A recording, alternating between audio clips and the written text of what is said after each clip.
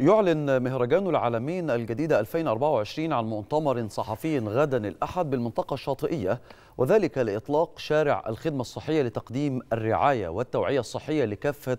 حضور المهرجان ورواد الساحل الشمالي وأهالي المنطقة والتي ستكون على أعلى مستوى بحضور نائب رئيس مجلس الوزراء وزير الصحة والسكان الدكتور خالد عبد الغفار وبحضور الرئيس التنفيذي للشركة المتحدة للخدمات الإعلامية القائمة بمهرجان العالمين